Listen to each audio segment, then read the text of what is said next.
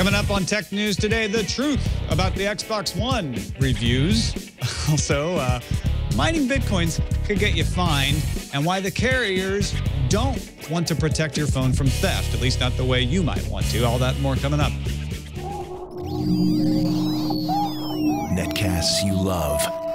From people you trust.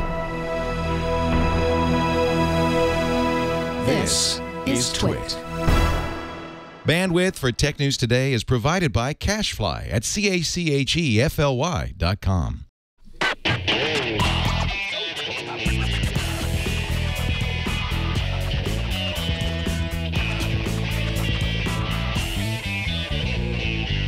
This is Tech News Today for Wednesday, November 20th, 2013. Tech News Today is brought to you by ProXPN. ProXPN is a virtual private network that allows you to use the internet the way it should be, anonymously and without oversight. For 20% off your new account, go to proxpn.com slash twit and use the code TNT. And by Squarespace, the all-in-one platform that makes it fast and easy to create your own professional website or online portfolio. For a free trial and 10% off, go to squarespace.com and use the offer code TNT11. Welcome to Tech News Today. I'm Tom Merritt. I'm Sarah Lane. I'm Iyaz Akhtar. I'm Jason Howell. And we're going to make it rain bitcoins of Woo! news today. Starting with the top 10 stories of the day in the News Fuse.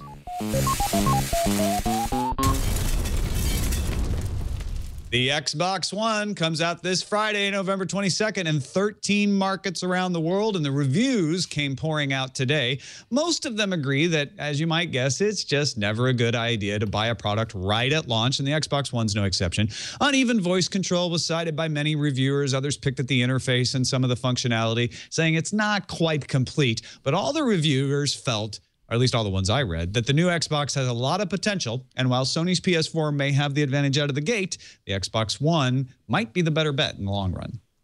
Qualcomm has new processors today. We've got a top of the line Snapdragon 805. It's geared at mobile devices and 4K Ultra HD TVs. It's designed to, quote, deliver the highest quality mobile video, imaging, and graphics experiences. That's from Qualcomm. We've also got a Gobi 9X35. It's a fourth gen 4G LTE modem, which also runs 3G and other wireless technologies. Qualcomm also introduced a new RF transceiver chip, the WTR3925, says that the chips offer significant improvements in performance, power consumption, and printed circuit board area requirements. Because Apple wants to make it as easy as possible for you to part with your money, the company just introduced a new Apple Store app for iPad. This is an iPad native app that lets you buy Apple products, sign up for events, and schedule Genius Bar appointments. However, the in store features of the iPhone app are not included in this iPad version. Russia's email provider Mail.ru has launched a U.S. product called My.com. Three services called My Mail, My Chat, and My Games are available as apps for Android and iOS for free. The Mail app can manage multiple accounts, including Gmail, Yahoo, and Outlook, among others. The Chat app, as you might expect, gives you free text messages, voice messages, and video calls. And the game app, as you might expect, gives you free games. You also get a free new buzzword as My.com calls their new platform Communitainment. Ew. Yeah. Samsung lawyers have accused counsel for Apple of making racist arguments in an ongoing trial over smartphone patents and are calling for a mistrial. Harold Mc McElhinny, Apple's attorney, spoke yesterday of a memory as a child watching TV on American made sets and how intellectual property could have saved these products. He then said, quote, we all know what happened. Now, he counters the mistrial demand by telling U.S. District Judge Lucy Koh, I did not say a word about race and I did not say Asian. Mm-hmm. mm-hmm. Uh, I know yeah, tough one. And a totally different story. AT&T, Verizon, Sprint, T-Mobile, and U.S. Cellular have all turned down Samsung's proposal to preload its phones with absolute LoJack anti-theft software. The software would have allowed the carriers to remotely brick a phone if it was reported stolen or lost. The wireless carriers claim that a kill switch won't work as a solution because it could be misused by hackers who could disable someone else's phone. The New Jersey Attorney General fined Esports Entertainment for using players on its service to mine bitcoins. Uh, we talked about this back when it was first announced in May. The company included code in a software update that was installed on around 14,000 computers and minted 30 bitcoins. The Company told Wired in May that the code was injected by an employee without their approval, and that employee has since been terminated. Esports Entertainment also faces a class action suit in California. A team at the Technical Institute of Physics and Chemistry in Beijing say that they can print electronic circuits on a range of materials using just an inkjet printer filled with liquid metal. They've demonstrated the technique on paper, on plastic, glass, rubber, cotton cloth, even a leaf. The liquid metal is an alloy of gallium and indium, which at which is liquid at room temperature. They pump it in through an inkjet printer and create a fine spray of liquid metal droplets that settle onto the substrate and create almost any circuit pattern. Wow. Fine spray of liquid metal droplets is my Kraftwerk cover band. Ars Technica reports the Wikimedia Foundation issued a cease and desist letter to WikiPR demanding that the company immediately halt editing Wikipedia, quote, unless and until WikiPR has fully complied with the terms and conditions outlined by the Wikimedia community. Wikimedia alleges that WikiPR markets paid advocacy editing services in violation of Wikipedia policies. The Logitech iPhone game controller enclosure is now official and it has a spiffy name of PowerShell. It costs about 100 bucks.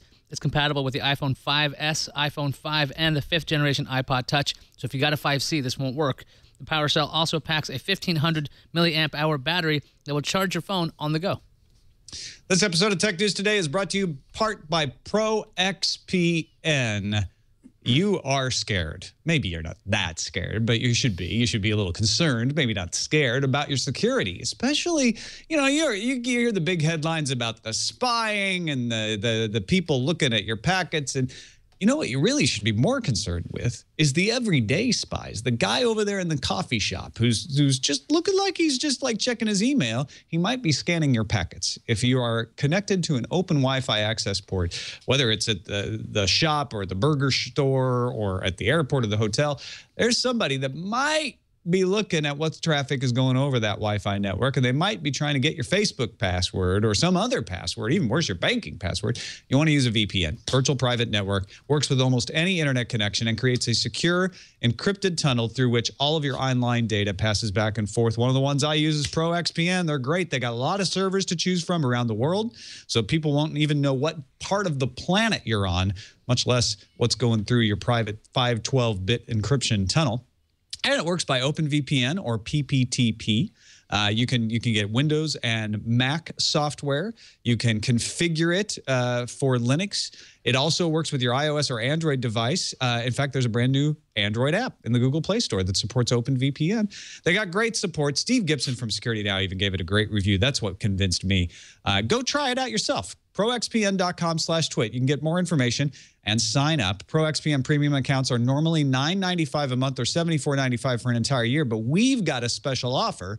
Use the code TNT to receive 20% off for the lifetime of your account.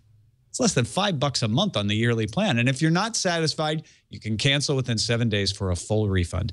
So go to proxpn.com slash twit and sign up with the code TNT. We thank ProXPN for their support of Tech News Today, and I thank him for being my VPN provider. All right, let's welcome in our guest around the old round table to discuss some of the stories of the day. Mike Wolf, analyst and host of the Next Market podcast, uh, which I was uh, happy to be a guest of recently. It was a good time talking to you and David Spark, man. Good podcast you guys got. How you doing, guys? Thanks for having me. Thank you for joining us. Uh, we've got uh, some good stuff to talk about. Xbox One review roundup. Uh, everybody's got the reviews out right now. Nobody's saying go out and buy the Xbox One, uh, just like nobody was saying go out and buy the PS4. They're all saying, hey, it's early days. But here's what some of the things they're saying are. Uh, CNET said there's uneven voice control. A lot of the reviews uh, reflected that. The Verge said nearly everything that could be great someday isn't great right now, voice control being one of those, but some of the other features as well. Uh, Kotaku echoed that, said there are so many rough edges, the software feels incomplete. Gizmodo agreed with all of those sorts of things. The Gizmodo review, though, points out if the Xbox One can straighten the few little quirks it has with some software tweaks, in Gizmodo's words, this thing is going to be unstoppable in a way the PS4 could never touch. So, Mike, I don't know if you're I, I don't know if you're a gamer, if you're considering getting game consoles, but uh, even if you're not, that's what Microsoft wants. They want to plug want you to plug your cable system into this. They want to make it your entertainment box. Is this at all attractive to you? Yeah, well, you know, I, I was actually at launch day when they unveiled it in Redmond, and you know, I've been watching very closely. It's it's a much different story for Xbox this time. You know, they weren't the incumbent uh, last time. It, PS3 was, Sony was, and I think that they are. So there's higher pressure on them. But I think everyone knows that with a game console, they really don't get their legs until the third, third or fourth year, and oftentimes developers don't know how to tap into the potential. And when you look at the Xbox One it's got that native Kinect support where there's a Kinect with every console going out. Uh, it's got native voice control. So I think those are new things that developers are going to have to take a while to play with. And I think by you know 2015 we're going to see some pretty cool games. I think Mike's on the ball with that because the first generation games on these consoles always look like the best version of the last generation games. There might be some improvements, but for all the features that the Xbox One is supposed to boast, this heavy reliance on using the Kinect, that that's Microsoft, you know, going all in with this device because these interfaces aren't necessarily that navigable with a controller. If your voice is supposed to be the real controller, that's a big deal. And the inconsistencies that I've been seeing in the reviews when it comes to how the voice controls work seem to be something that'll be worked out over time. Something like Xbox on turns on the device turns on the device, but you have to say Xbox turn off instead of Xbox off. So there's some and then confirm on top of it, some, right? Yeah, it's so Microsoft. There's so much language uh, language issues so far with this. If they're going to rely on voice, they're going to have to fix that over time. And I'm figuring, I think 2015 probably be really awesome, just like the the Xbox 360 got better and better over time. If this is their first go around, looks pretty good. Sarah, any temptation Well- to plunk down five hundred dollars for this thing and use it as your Netflix machine?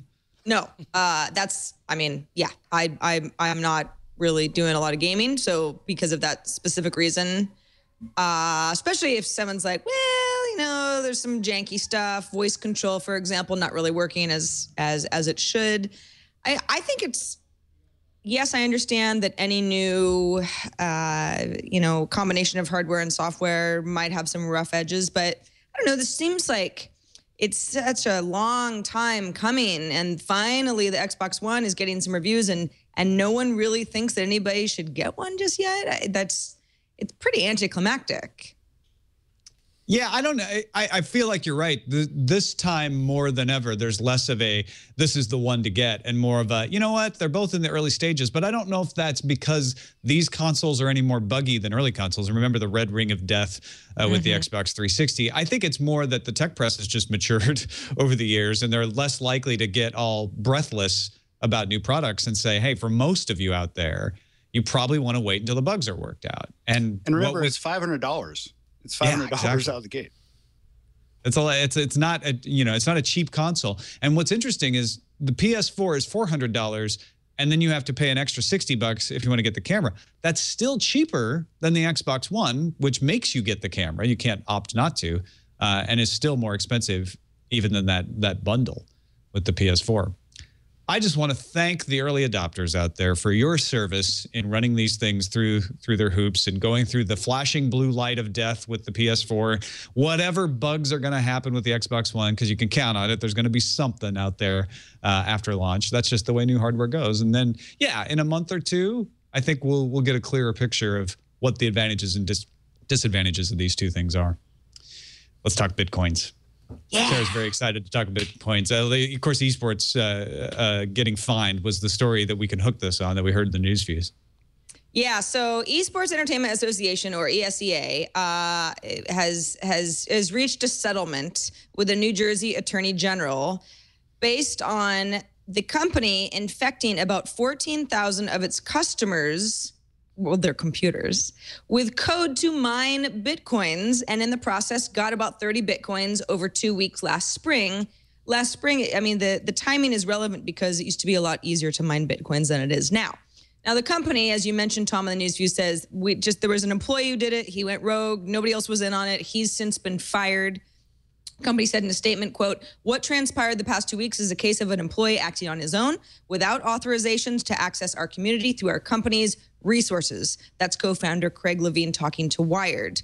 Now, they're being fined anyway. The fine is for $1 million, but actually, ESEA only needs to pay 325000 of it up front and then basically act right for 10 years. If they if they're, you know, they smooth sailing for a decade, they avoid the rest of the fine. So really it's, you know, just kind of over 25%. Hopefully, Attorney the General's last 10 years, right?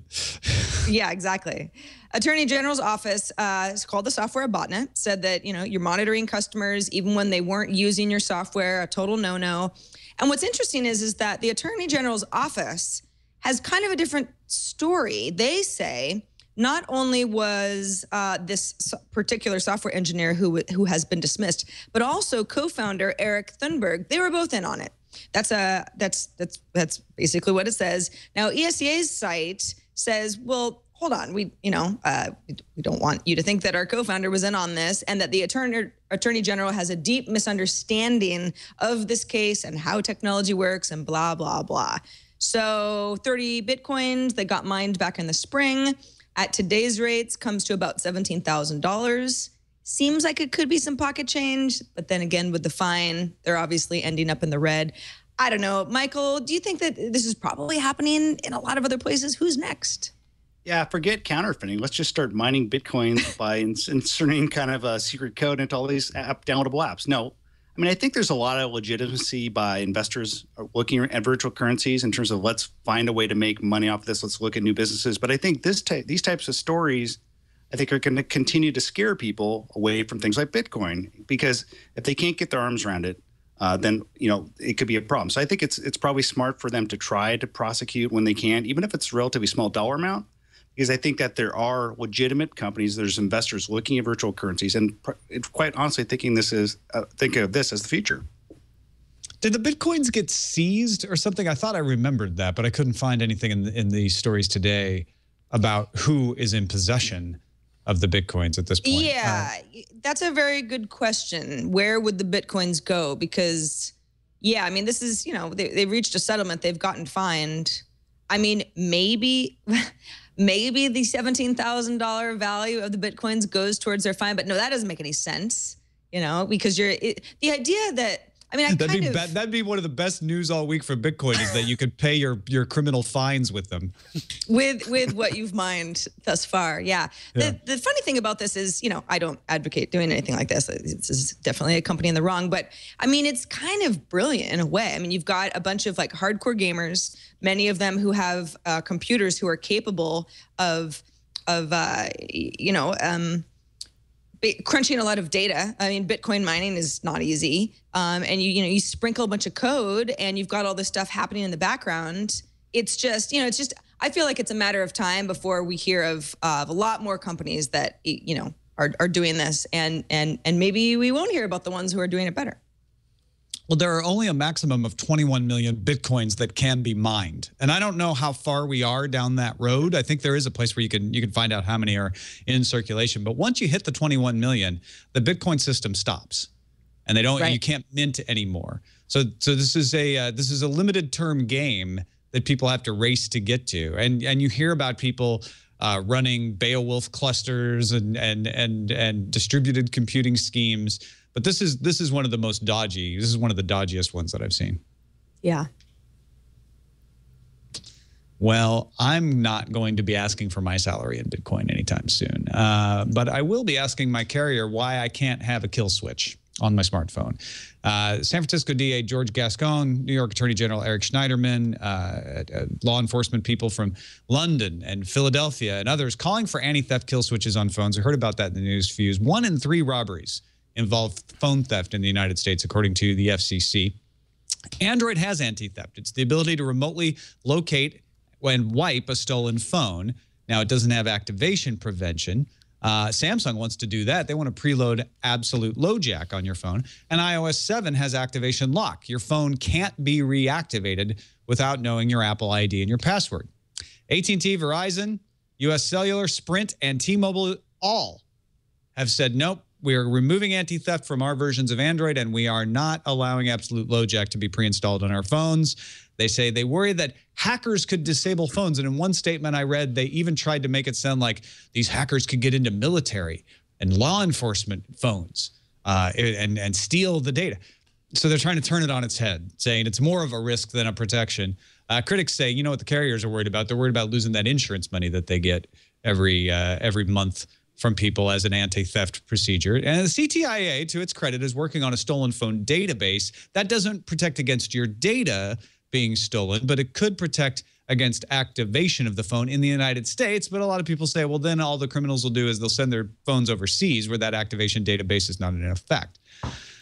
So, Mike, where does that leave us? Uh, should the, are the carriers just being evil here, or do they have some some point that that this could be a risky thing to do anti? Yeah, it seems like a pretty flimsy excuse. I mean, I think what uh, what can't hackers get into if they really set their mind to it? And I think that I'm going to have to side with the attorney general on this. And it seems like they're maybe using it as an excuse to protect those uh, those recurring insurance fees we have to pay every month.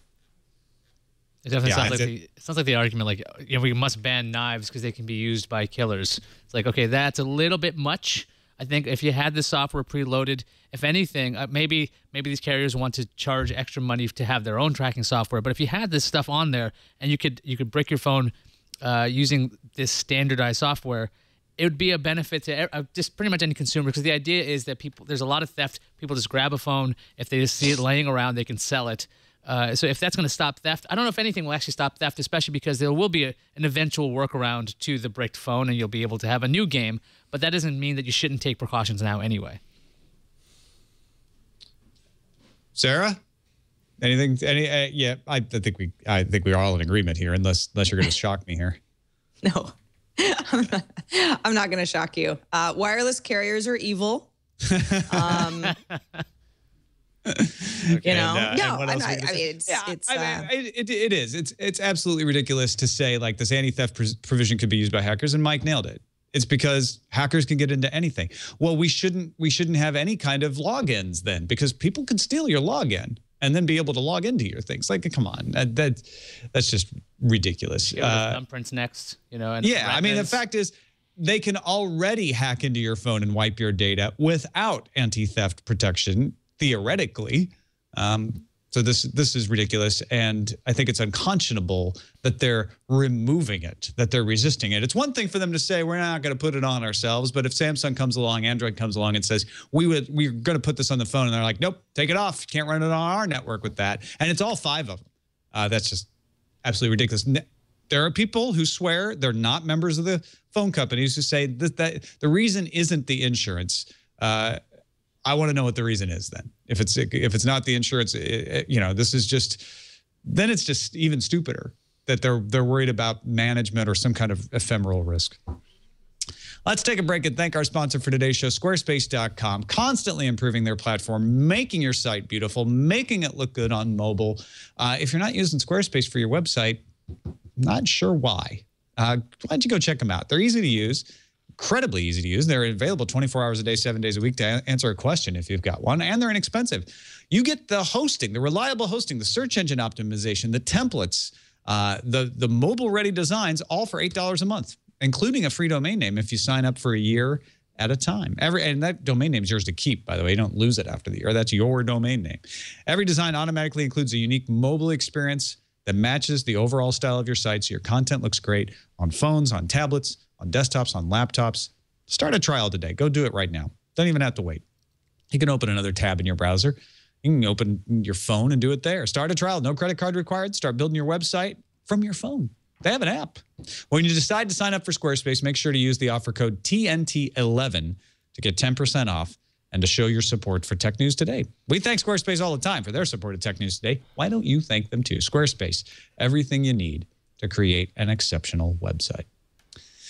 Google's uh, expanded their app development kit to to be useful. Some might say. yeah, for Google Glass, like they already had the Mirror API, which made sure that uh, your phone was always working with Google Glass, but they took the wraps off uh, off its Glass developer kit or development kit. The GDK is different than Mirror. Now, apps can run in offline mode. They can get real-time user responses, and they can take advantage of Glass's hardware, like the GPS and gyroscope that's built right in. Uh, Timothy Jordan, Google's senior develop, uh, development advocate, said, "If you're an Android developer developing for Glass, uh, this will feel natural." GDK also allows live cards and are a focused immersive experience. So there's a lot of in a lot of the video demos is like a, a like a black screen. You see the white text because you're supposed to be enjoying what you're seeing. And they showed a bunch of demos, including Word Lens. So in the demo, we're going to show a video of that uh, somebody with Google Google Glass is looking at a sign that's written in German.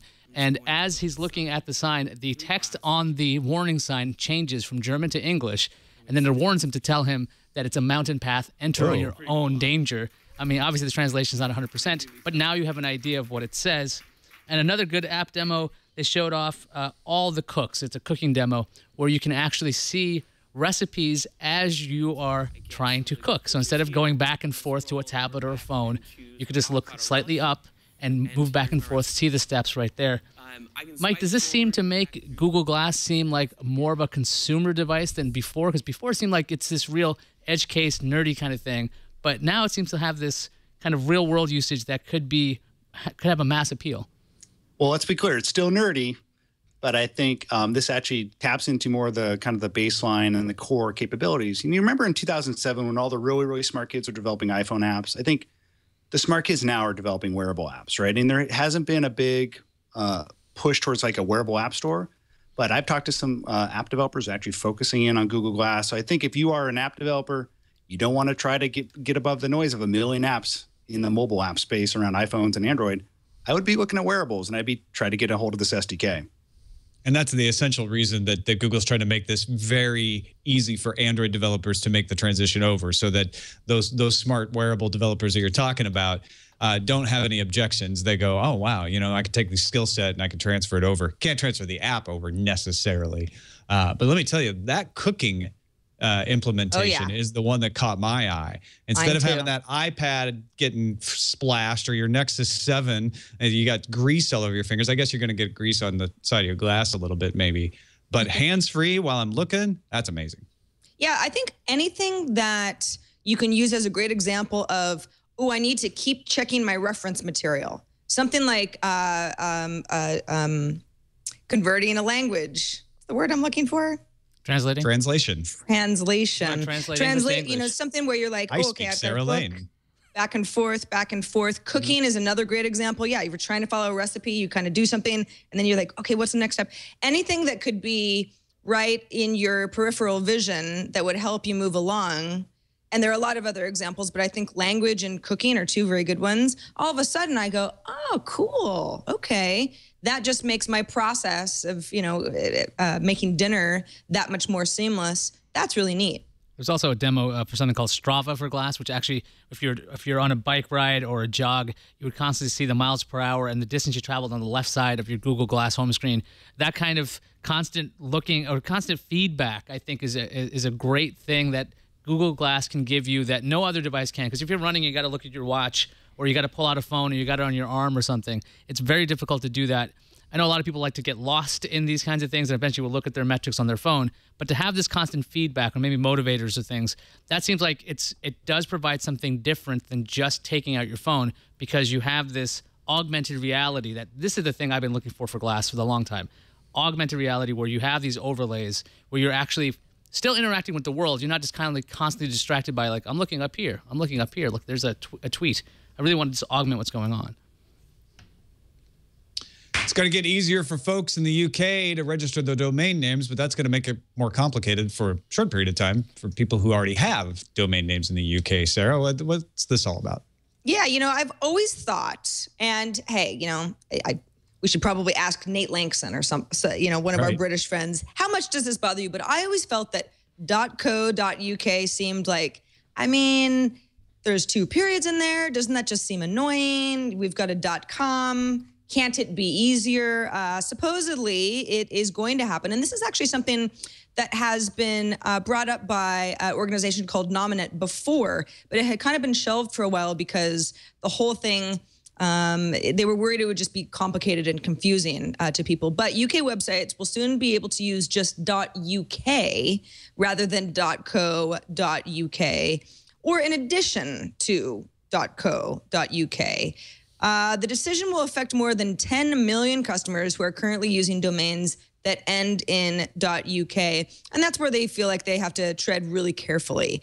Now, Nominet's French and German equivalents, domain registers, have already carried out a similar move. So, it's been done, but then it can possibly get more expensive. That's what critics say. They say, well, businesses will want to keep their existing domains because you don't want to have something that all of a sudden just doesn't point to the company you're trying to reach. But then you want to buy the new ones because you'd want to prevent other competitors from buying them and hijacking traffic and con- and confusing your consumers.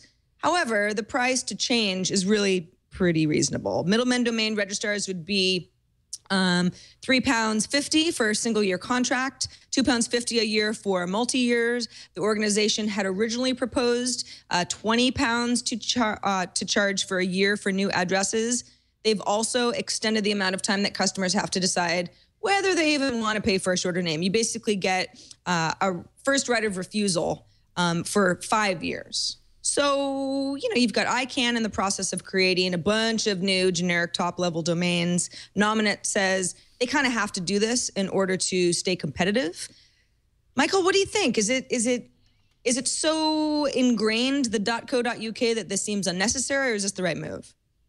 I'm with you. I've always thought that there's too many periods, .co.uk. So I think that there looks like they're giving those who own those domains uh, a good grace period to actually buy them. And quite honestly, if you're running a business online, uh, three pounds, uh, you know, ten dollars, whatever it costs, probably worth investing it. I only worry that people who are only tangentially or minimally involved with their websites may not be paying attention. And I think there's maybe a potential for opportunity down the road for people to kind of steal traffic if, uh, over time if they take these shorter domain names. I, I almost think they should just make it yours to keep right? Like you just you're granted this if you already have the .co.uk, and then you have to pay to renew it, uh, but you you just get it, uh, yeah. and and then you can decide to lose it. That would, yeah. but but I do think they they they went a ways down that road by saying we'll give you five years. That's a lot of time uh, to give people, and they they did the right thing because I do think that it makes sense for them to convert this. And there's always going to be problems if you have to convert a domain name. Yeah, short names are always better. I was thinking about the old domain name for states. Do you remember those like state www.state.gov. like ca or something? It was really bizarre. So to, to, to simplify things so it's a more universal language, I guess that makes a lot more sense, especially if you're talking in the mobile world. You just want to type really quickly and get these things done. But then again, you're probably going to have tons of redirects anyway. So you're going to probably, assuming you can keep co.uk active, you're going to probably have both of them there because of SEO and a whole bunch of other stuff that would make you want to keep those things uh, running for the long run. Although then you get into the weird argument of like, well, if it's .uk, then why not .us for companies that that's US based? It's it's it's all it's gotten kind of complicated. But I think yeah, I think this is the best step. And Tom, I agree with you that really the companies should just automatically get the shortened version, but it doesn't always work that way. Nominet wants to make some money. People have been saying for a long time that Nintendo should just get out of the game console business, get out of the hardware business, and just make games, port them over to, to tablets and stuff. Now there seems to be evidence that they're only taking that advice part way and possibly getting into the tablet business. Uh, Iyaz, what what's what seems to be going on here? This is becoming an intriguing development. So there was a series of Twitter posts saying that Nintendo is working on an Android tablet for educational games. Now, the tweets came from Nintendo of America software engineer Nando Montezaro. Now, these tweets were collected by several different websites, but they have since been deleted. So if you try to find the original ones, they're gone. Uh, but the tweet said that uh, experimenting with a tablet of Nintendo, the system is based on Android, fully modified and unified as a database of the tablet, hashtag Android.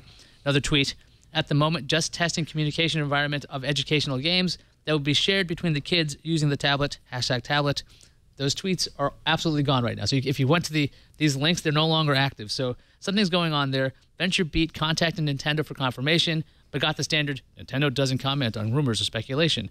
Nintendo wouldn't even comment if this guy was even working for Nintendo. Uh, but the fact that the tweets are gone make it a little bit more suspicious. Uh, Montezaro, at least somewhere in these tweets, said that Nintendo, Super Nintendo, and Game Boy games would not appear on the tablet, but educational games would be the focus. But they would have Nintendo characters like Mario and Luigi Mike, Nintendo educational tablets. Assuming this is even a thing that might come out, is this a good idea? You know, it's it's kind of sad how little part of the story Nintendo is for the current uh, new generation of consoles. Uh, they've seen slowing sales with 3DS as they're getting from below from from tablet uh, or from from tablet apps. So I think that they need to look at new markets. I think it's smart of them. They're probably looking at kind of eating into that leap leap pad market, the leapfrog market. Um, for children's educational hardware. I think it's smart. Um, I think they need to make a move because I think their core hardware markets they're they're seeing huge uh, uh, declines in market share.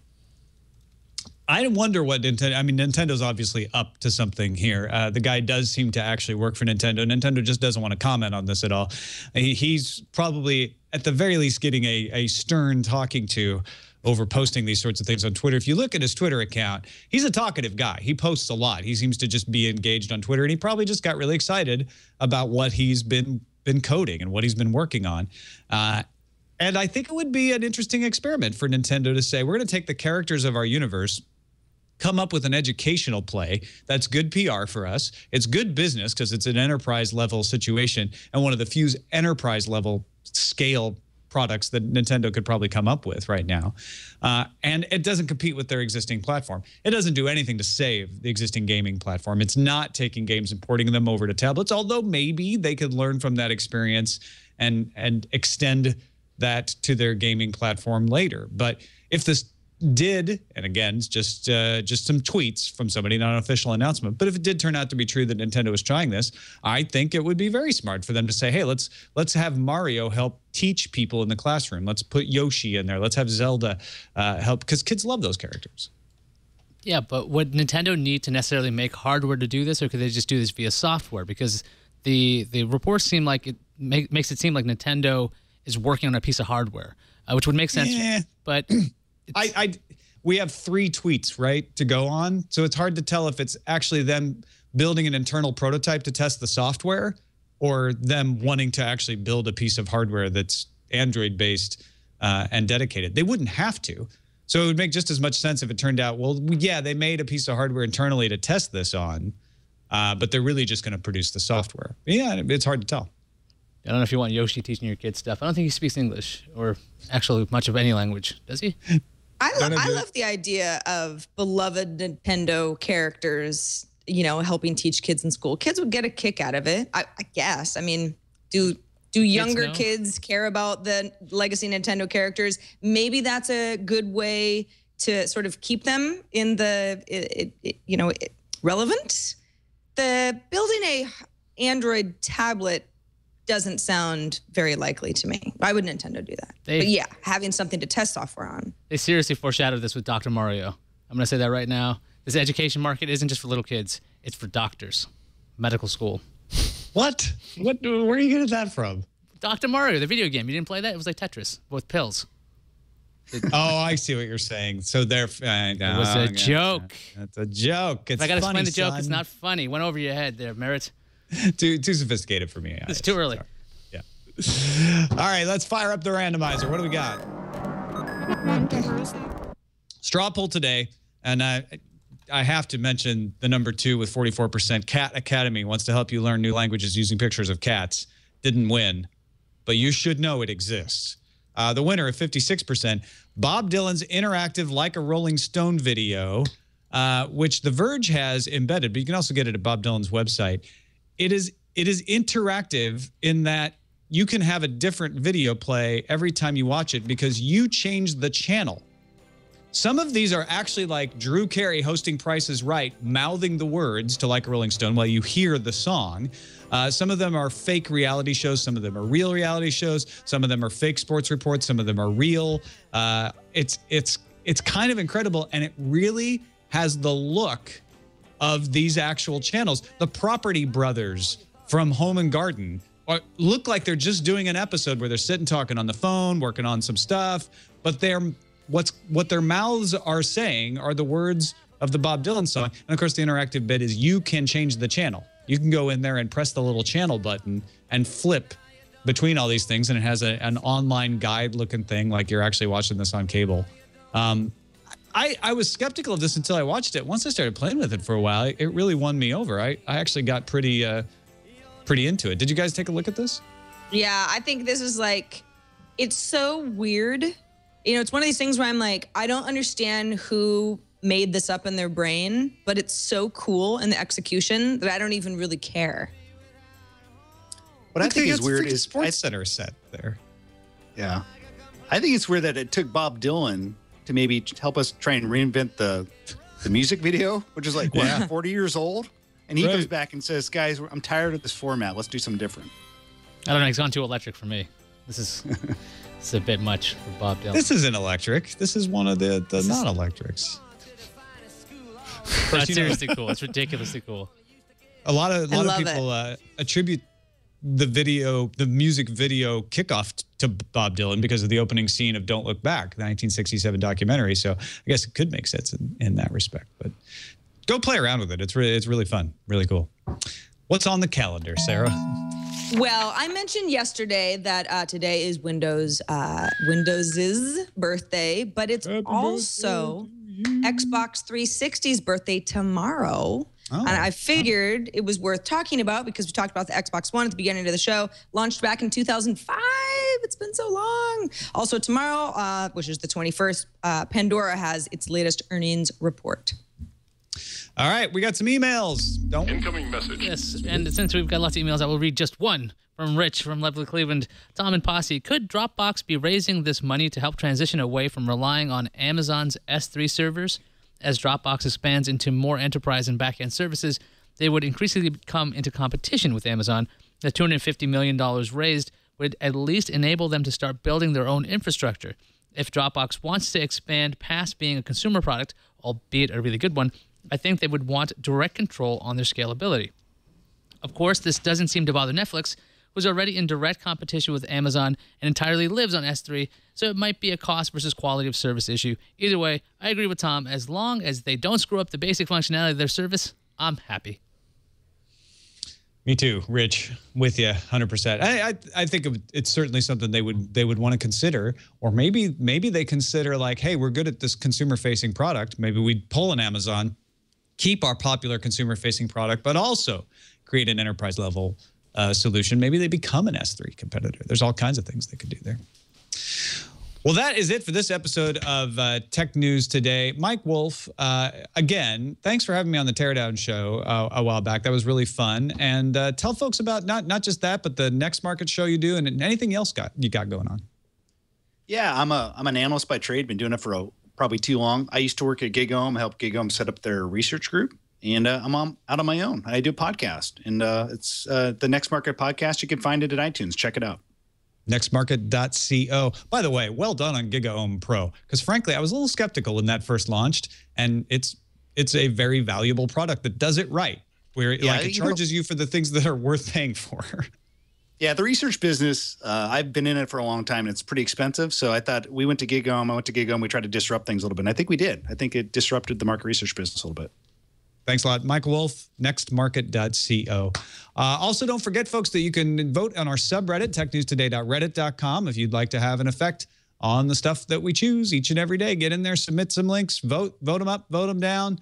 All good stuff in there. You can also email us, TNT at twit.tv. Give us a call, leave us a voicemail, 260 TNT Show. We have a YouTube channel you can subscribe to. If you're a YouTuber, go to Tech News Today at the YouTube channel. It's youtube.com slash Tech News Today. And of course, find our podcast subscription links, our show notes, all that stuff at twit.tv slash TNT. We'll be back tomorrow with CNET's Stephen Shankland as our guest. See you then.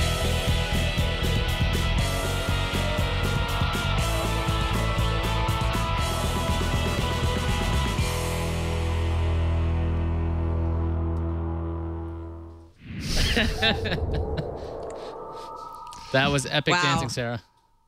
I mean, really, Sam? I, I, it's that You know, sweatshirt. just- it you got to you get so clean. You know,